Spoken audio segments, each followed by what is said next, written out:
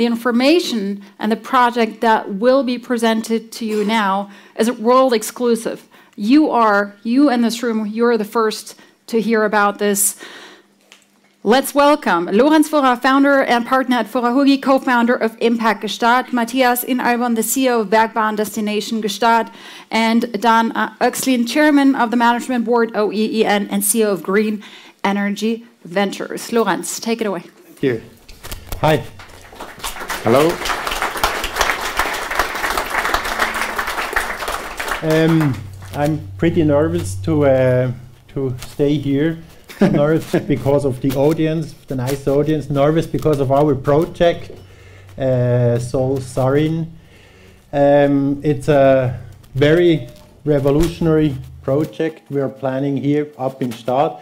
I'm very proud and happy to be the project leader for the moment for uh, for um, for this project.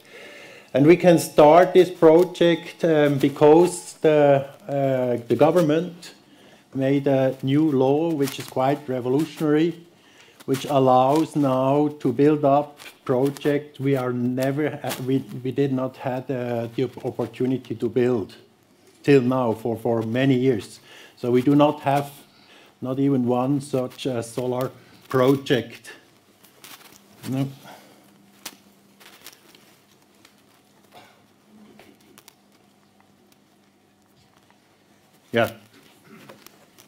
Last October, the parliament created this new rule. We have one of the creators, Ständerat Ruedi Noser, with us. We have other parliamentarians here in the audience.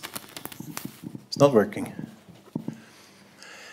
Um, and it should de-block a lot of other projects.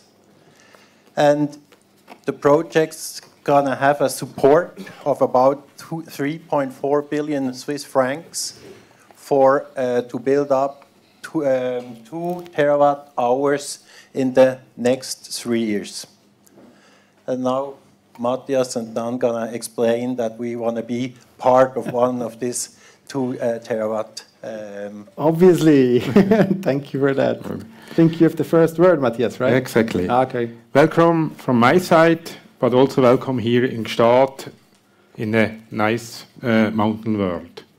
Just look outside. The sun is rising, and this sun we will need later on. We have unused resource here, as mentioned, the sun, which will take us a sustainable step forward in the coming years. In my function as CEO of the railway company, I'm strongly connected with the topic of electricity. For example, currently, no company guarantees us uh, uh, the electricity for the snowmaking uh, system. So, a small company, we have to buy the electricity each day or each 15 minutes on a daily stock exchange. It's quite difficult for a small company, but it's the reality. The security of energy supply in Switzerland is at risk. According to experts, the situation will look even worse or more critical next winter.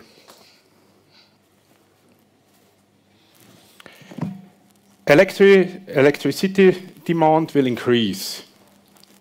There are more and more electrical cars, and nuclear plants will be Uh, being shut down. And then, from where does the electricity comes? I'm not only concerned in my business function about this question, also in my private life. That's why the reason first Lorenz and I, and afterwards uh, uh, Dan joined the project. We have really worked on this topic and initiated the project or this project with heart and soul, with the vision, a destination to become energy self-sufficient.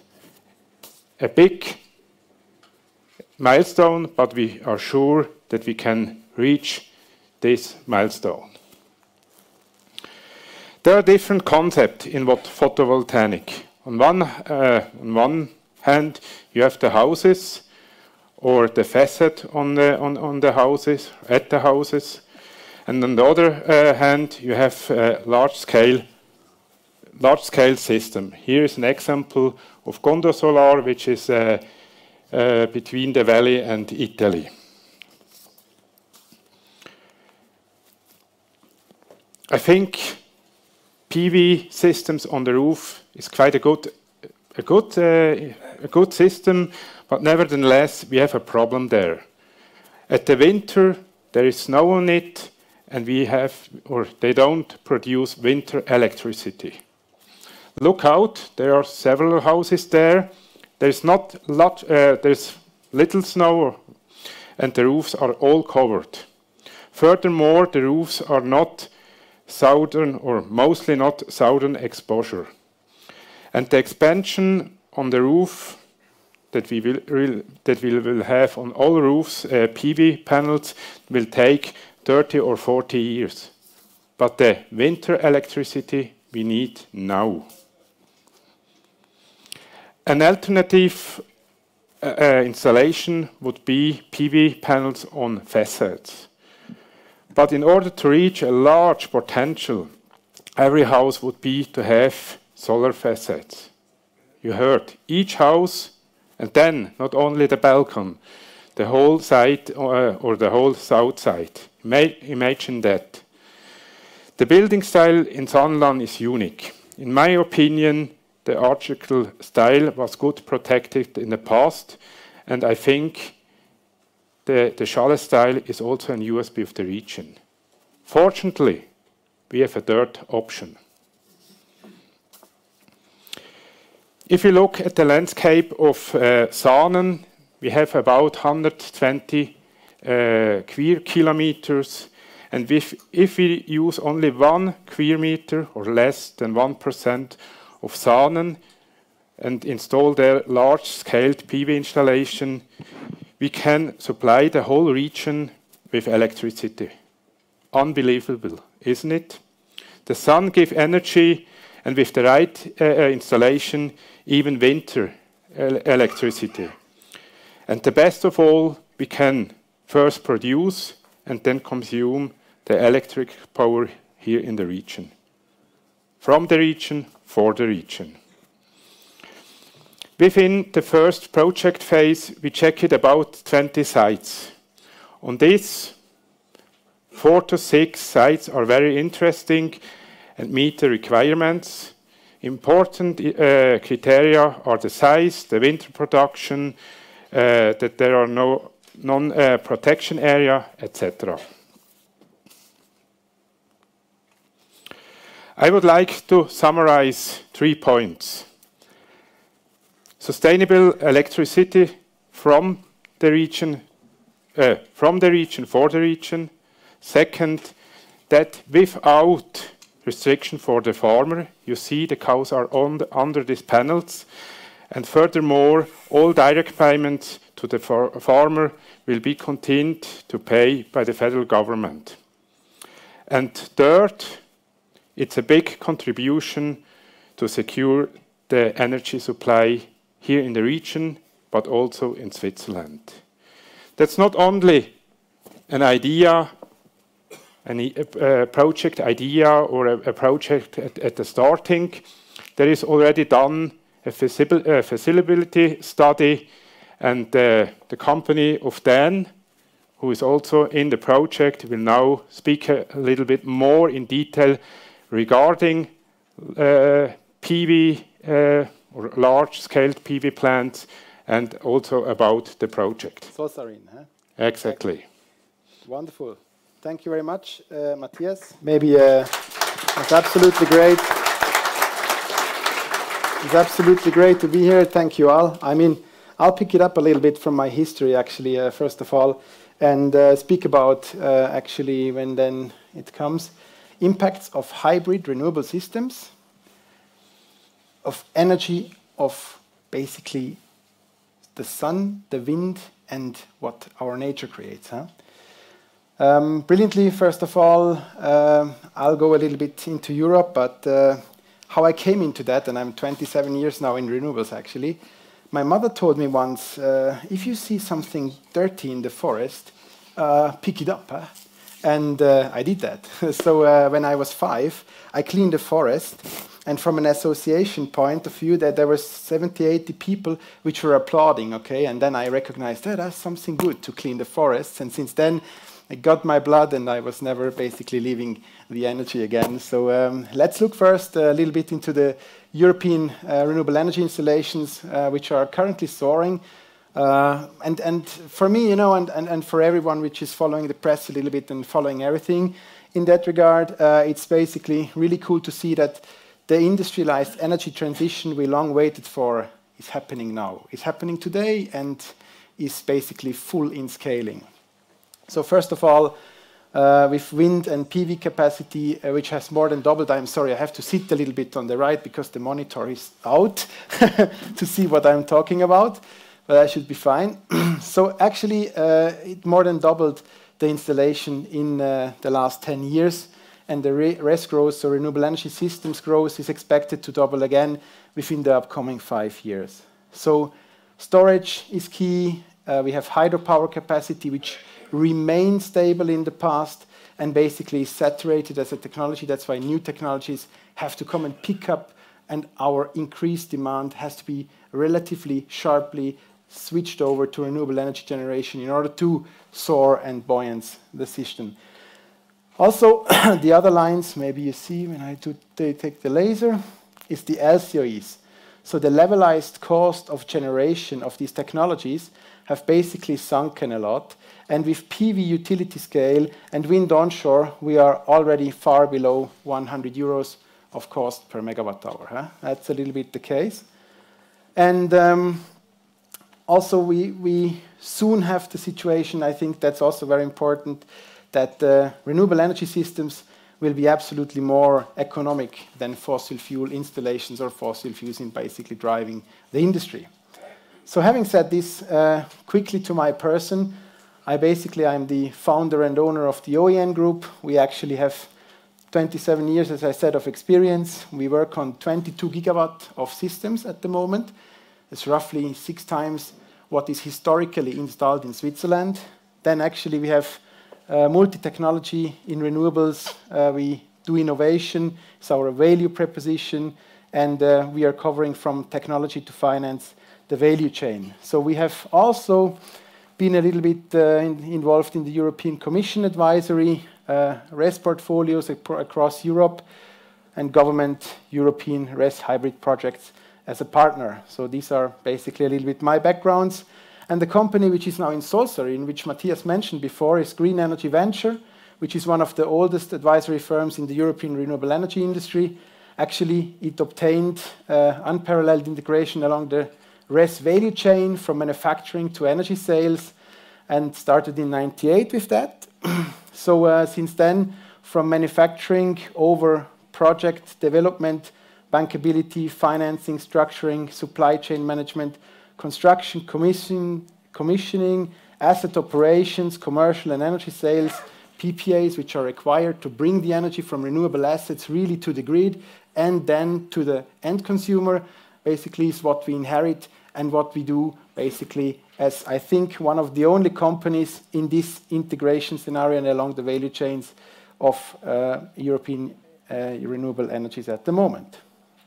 So and that basically um, is a little bit the background how we entered uh, the collaboration.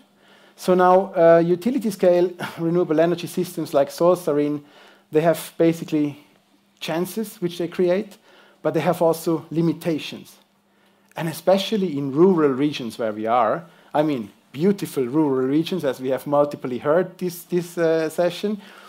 Nevertheless, I think I'll take the picture which Matthias left the stage with. it's very good to say that today's applications are not meant to generate around the clock, nor meant to work in direct synergy with other technologies, and that's what we have to change. So when we talk about next generation of systems, ideally they are designed decentrally. Yeah? They are designed load curve adapted. And why do I say load curve adapted? Because historically, large scale, so utility renewable energy assets, they were built just as projects. Okay, there was a big wind farm, as a big photovoltaic field, or there was storage like like uh, hydropower storage or whatever storage technology. but no one of the project developers, because the feed-in tariffs were so great, they saw the money. Eh? They said, ah, bigger the project, better the project. But it's not the case anymore. So here in Gstaad, and especially with the valley ships we have here, we have to adapt our renewable energy systems decentrally to be built. We have to hybridize them. And most important, the load curve or the consumption curve adaptation must be made so that renewable energies are not only solar, ha, nice high peak in summer, but nothing worse in wintertime, okay? and that's also what we are focusing a little bit with the SolSarine project. So new energy technology shall try to reduce local storage, so mainly batteries. And then actually it's important to say that the capability to deliver energy when and where needed is where renewable energy systems should strive and thrive to go, okay? Um, that includes AI, that includes smart metering and smart steering of generation assets within a grid of these central systems and enable new kinds of application in and outside the mountain valley. So I come to that in a minute. Huh? First, the project. SolSarine was not yet seen actually in public. So this is the absolute first time we are presenting it, or Matthias has uh, basically presented it. And, and Lorenz and Matthias, thank you very much for the opportunity that I can be here. Five, six weeks ago, I have to say, I have not, I have not had a clue uh, what to do about uh, basically the feasibility study, and we ramped it very quickly. And I also appreciate the team, eight people, which has basically made that possible. So, high altitude PV installations. What is that actually? Those are technically challenging due to the combination of soil conditions, high wind speeds, we have uh, snow loads. Oh, sorry, that was a little bit too fast. Snow loads, um, which we have distance to grid connection point, but also produce 25% more power than 500 meters above sea level, okay? And that is something which you have to say is really important. When we look into the CapEx comparison, we have basically uh, much higher CapEx, so a cost of the system, but we also have 35% more energy. When I can talk about 1,020 kilowatt hours, uh, basically, which, which we can generate with a, with a kilowatt peak installed power on, on the valley, we have 1,580 actually in 2,000 meters uh, altitude. And that is what, what we want to say. The high alpine systems allow to work with bifacial PV modules because uh, 200 days they are having a splendid albedo, and albedo effect is the reflection effect from the surface, which the light basically goes to the backside of the generator, the so-called solar module. And that is basically 200 days of, of a year. It's the case in, in actually uh, Gstaad, or above 2,000 meters in Switzerland. So it's very important and increases a lot not included in this calculation yet because we don't know exactly the values, but increases a lot, again, the efficiency of the systems. Huh? So SolSarine versus Gstaad demand.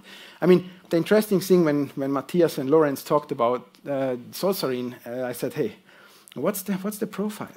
And they said, yeah, we estimate like that. And they were good with their estimates, but accurate estimates must be the foundation for an economic calculation of such assets, actually. And therefore, we have two things done. First of all, we have brilliantly looked at the profiling, and when you see that, we have simulated the Gstaad town consumption, okay? So it's actually the gray. It's not so sharp, uh, it's a little bit unfortunate, but however, the gray is the Gstaad consumption which we simulated, so from the town. And the uh, monthly production from SolSarine is very, uh, is very actually uh, atypical, atypically strong because um, the anglicism, so the wedging of the module, and also the placing of the modules allow for a very high winter power. Huh? That's, that's what we want to reach. And that's also Solar Express in Switzerland requires winter power strength. So uh, basically, that is what we reach with these kind of um, production profiles. And that's also very important. It's, it's an absolute figure, and then the relative figure SolSarine outperforms also any other PV system with an overall higher production, especially during the energy problematic winter months. And that's what we see here very well. So I think, uh, and I have to translate that, this is a specific yield per month in kilowatt hours, kilowatt peak, a little bit technical, But what we see is the blue line, a standard system. Do you see that also from here? Should I put the chair away or is it, is it? See, yeah, that's good. Okay. So um, that's basically what we see here. And we see SolSarine, which, which have a lot more average gigawatt hours per month in the equation. So that is so important because with such an energy grading, you have little effects basically in terms of differentiation of energies, but high effects in the intra-year comparison of the entire generation of such assets. Okay. Then the effect of high altitude systems in wind and PV, that's something uh, the Swiss program focus develops into. Uh, it's also important that uh, we see that uh, the LCOEs, which is the levelized cost of electricity which can be generated through a renewable asset, is almost similar when we look into wind and solar on the altitude level. So, but what I want to say is that when we look into the profile of wind and solar, they're controversial, okay? So the profiles of solar and wind, wind is usually in winter powering a lot, huh? and in summer also. But solar is powering usually in summer a lot, and in winter there is a best. But with SolSarine, with the increased winter powering and with the increased slipstreams and strengths of winds and the combination of those, we can make a profile matching from only solar and wind, which is already almost like a baseload profile. And that's something which is absolutely new in the industry, and we should follow that. So here, sorry, last thing. Here we have strong production synergies and a possibility to reduce the LCOE3, LCOE through hybridization and things like shared grid connection costs or basically shared storage costs or whatever there basically the measure is. Furthermore, the alignment of the technologies in our eyes is the way ahead. Alignment of technologies, I mean, we have SolSarine, but exactly what, and that was a very important discussion we had in the team, in the SolSarine team, we were thinking about, hey, what is going on in Gstaad? so we don't know so well energetically, but clearly we have uh, standard energy providers and, and basically uh, BKW and the grid, whatever. Uh, but what we said is also that wind, uh, hydropower, which is already existent here, and we have to reuse, with the power deterrent, deterrence of, of all these basically combinerships, hydrogen for public transportation uh, propulsion, actually, and that uh, basically very importantly, but also biogas. I mean, the farms and everything is there. You know, like like you have to understand, and I think we all have to understand that this is basically a combination, and the hybridization, as I said in the beginning, and the adaptation of the load curve in the concepts is exactly the most important thing to share the costs make an absolute high efficiency in terms of load curve matching and have a modern chance giving environment in order to basically see what, what we can have in the future from it. Apart, naturally, of carbon neutrality uh, for countries uh, like Switzerland, and there that's very important. we have a vast potential for alternative energies because the combination will cause effects of central importance, which are daily needs, but also peripheral importance or effects, which can be basically used energies for things we don't yet imagine. We have uh, talked about a wave surf, you know, kind of application where, where, where Kinder and also, as we love it, uh, surfers, uh, basically, where we can basically ride these, these applications, you know. And, and whatever fantastic things uh, there can be done, it's just important that the technologies will learn to walk without subsidies, and will develop, but only when we kind of care that spearhead adaptations happen. That's a little bit a summary of such argument. Huh? Okay, um, then I think the centrality of the approach, and that's the precedent example here, when we had the team sessions. So developers, the landowners, the municipality, the suppliers, the investors, the grid operators, the advisors, the project collaboration, without that, we will not make it. We will not make it in time, we will not make it in favor, we will not make it in excellence, and not make it in cost. So, together, that's basically the central edge. And SolSarine is based on all those pillars. Huh? by 100%. Which one? Consumers. Yeah, the, it's, it's basically the project development. But thank you very much. I, we come to the consumers, absolutely. it increases the public acceptance, remote locations, and it's good to have this interaction. I like it. Thank you very much. Reduce technical risks due to collaboration between grid operators, developers, advisors, and suppliers. Uh, improved financial feasibility for in investors, incorporation of landowners' requirements, and municipality to support and profit at the same time. Huh? So that's basically a little bit what we can say from a techno-economic view on the project. Environmentally, very important as well. it's not yet consumer, but it's almost consumer. Uh, we have uh, these alpine solar projects, which are the future for Switzerland's agri agrivoltaic compatibility, also chosen in geolocations, and harmony uh, uh, with livestock, nature preservation, and the farming situations will, will, will definitely play a key role. So here, uh, CO2 neutrality is inside already. we also have the land op usage optimization because you see the livestock is underneath the construction, and that is not a fairy tale construction here. That is what we plan to install, kind of, not yet fixed, but it's just important to say that these installations will have an absolute neutrality when it comes to livestock, when it comes to biodiversity. uh, we have a positive impacts from certain studies from the, from the MIT on the biodiversity, and also the fostering pollinator biodiversity is like a very important aspect here. Also, um, well-being livestock and the crops protection. So, just to give you a little bit uh, a view on, on what we have thought also in the development team about it. So, in the end, and this picture is basically not only not even five days old. I took it while while skiing in the region, a little bit off. Uh, that's basically what I want to say. With the SolSarine project, Impact Gstaad conveys a great opportunity for, for this region. This is also a really great occasion, and I talk to many people about bringing independence, bringing comfort, energy cost, security, so that we can say what the energy cost will be in the future and grant it, and compatibility to future forms of applications like hydrogen, biomass, and more. So let's take this chance of a lifetime, I say, to shape and form the carbon neutral footprint for the energies made in the region, for the regions, and in the end, impact Gstaad. Thank you very much.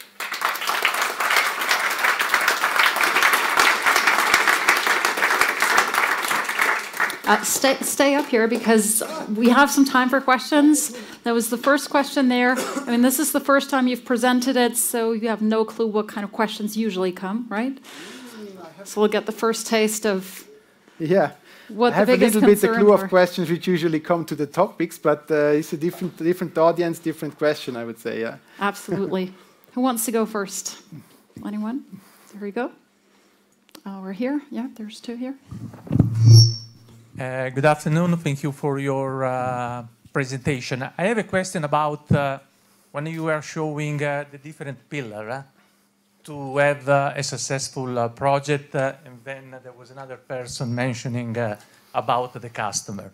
So based on your experience uh, so far, because I'm familiar yeah. on uh, the supply side and also grid operation, because yeah. it's the area in which I was working.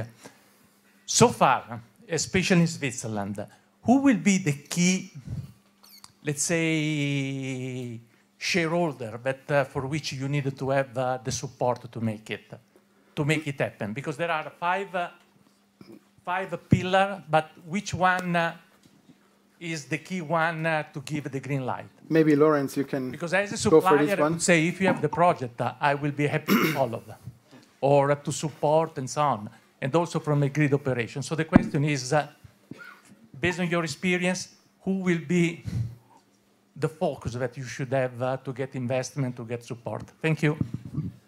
Um, as I said uh, at the beginning, we, we try to uh, build up a public-private partnership. Now we have the municipality already as a in the in this uh, stadium of the project as a partner. They support us um, a lot. And in financing, we uh, tend to have, you see it here on this uh, chart, um, we would like to, uh, to raise um, uh, money also with uh, with the founding members of uh, Impact Gstaad. So we're going to prepare once we are ready with the project. We're going to prepare some uh, tickets, And uh, but the main uh, investment comes from the equity comes also from people uh, out of impact Gstaad, and 60% uh, comes from the government. The first 60%. There was another question here. Hi, thank you very much. I'm, I'm Trudy. I have a question about uh, your constant delivery model together with wind. So is it your mm-hmm. strategy to wait and, and make that happen? And if you don't, you fail? Or, or what about storage? Could you, could you talk about that a little bit? Yeah, I think no problem. Um, the intention of the slide was brilliantly to show the precedent subsidy technologies of Switzerland and how they interact together. Okay, that's, that's basically uh, upfront. Second thing is obviously SolSarine is, is and not Windserine. Uh, it's, it's, it's positive, but uh, not yet. Uh, we have a brilliant concept to inherit into this concept from IG actually wind power. But what could be done and what is basically the, the great opportunity on our interaction open market grid that we could partner with wind generators, okay, with wind projects, and that basically could be mashed up in the, in the, in the load curve. And that is something which we just wanted to say. And it was a little bit too outrageous in order to basically display also other technologies and compare every, everything, you know, when I have a minute for a slide. Uh, that's why I took only wind, but uh, I think there is the, the internal sense or the integral sense to actually combine these energies, which are subsidied, but not only those, to an entire entity which, which is basically powering the future a little bit, so to say. Does that answer your question or? Ah, storage, yeah, exactly. so storage, I think storage, especially when, when it comes to battery storage, um, and the ingredients of batteries, actually, we are looking to avoid battery in basically future concepts.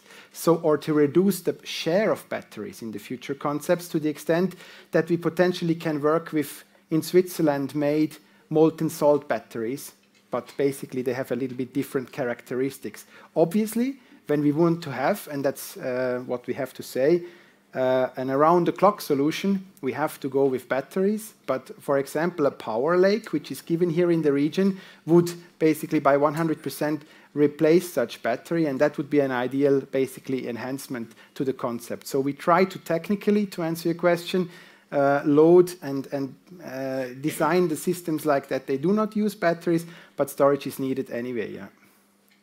Okay? Perfect, thank you. uh, Dan, very briefly, just how scalable is this, and can you export this? If it works, can you export this to other regions? I mean, or is it really specific to Gstaad? I think um, that's a good question, and it's not uh, basically a question if it's scalable. We know that it works because, as I said, our company basically we have made more than 20 gigawatts of actually uh, solar power systems in, in more than 17 countries. Meanwhile.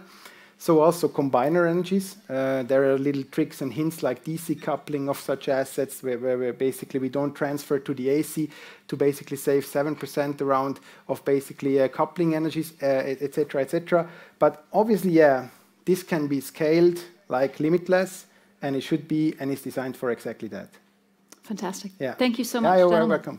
Thank you so much. Oh, sorry. Oh, there's two more questions. Okay. Sorry. Um, open? Okay. Um, I find it a little bit ambitious, uh, your timetable. Um, to raise now uh, this year, then you like to construct next year, and then 25 you will deliver? Is it right? End of 25, so after 25, yeah. We have, we have to. That's, that's part of the, uh, um, of, the, of the rules made, made by this law that uh, this project will held in the next uh, three years. So we have to start this year now with planning and next year to construct. And in 25 we have to uh, to uh, spend about 10%, at least 10% uh, to the wire.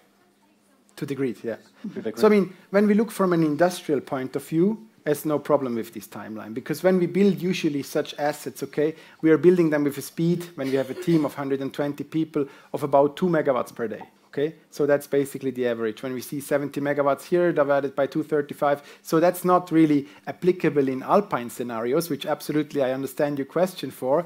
But to build such assets uh, in basically one and a half years after a permitting period, there's there's no single problem. And I have nearly the same project in Mecklenburg, and I talk now five years Ah, yeah. with landowners. Maybe we work together. all the administration and so on. So um, I, it's a fantastic project, Mm-hmm. but um, Look, the optimization, I think, Lorenz, you can also say something about the political background.